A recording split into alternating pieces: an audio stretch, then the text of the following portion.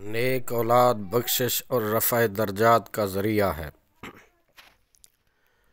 निकाह के ज़रिए नेक और साल औलाद हासिल करनी है। नेक औलादी, बख्शिश और रफ़ा दर्जात का ज़रिया है।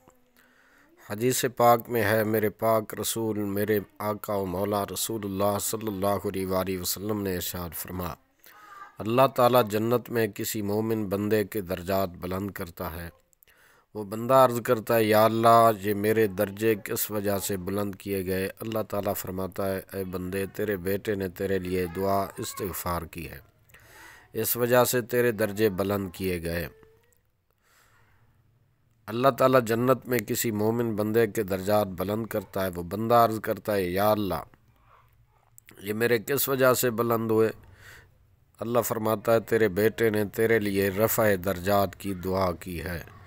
वाज सामीन नाजरीन, देखा कि निकाह के क्या फ़ायदे हैं और निकाह के ज़रिए जो औलाद होती है, अल्लाह करीम उसको इंसान के लिए बुलंदी दर्जात का सबब बना देता है, क्योंकि निकाह सुन्नत रसूल भी है, दूसरा बख्शिश का ज़रिया भी है।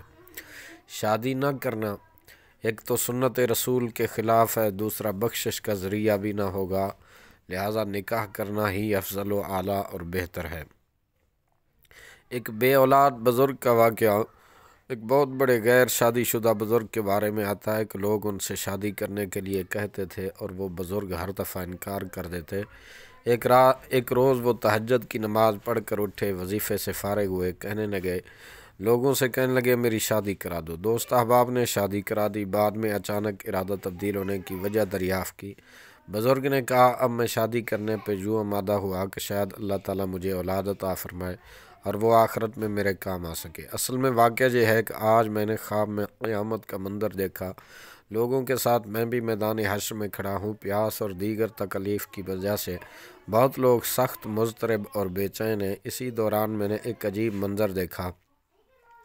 कि कुछ छोटे छोटे बच्चे सफ़ों को चीरते हुए इधर से उधर फिर रहे हैं। उनके कंधों पर नूरानी चादरें पड़ी हैं। हाथों में चांदी के जग हैं, सोने के गिलास हैं और बच्चे एक एक एक शख्स को पानी पिलाकर चैन दे रहे हैं, सुकून दे रहे हैं। कुछ लोगों को छोड़ते हुए आगे बढ़ जाते हैं। मैंने बेचैन होकर ख़ुद एक बच्चे से पानी तलब किया तो वो कहने लगा, हम में तुम्हारा कोई बच्चा नहीं है। हम तो अपने माँ बाप को पानी पिला रहे हैं।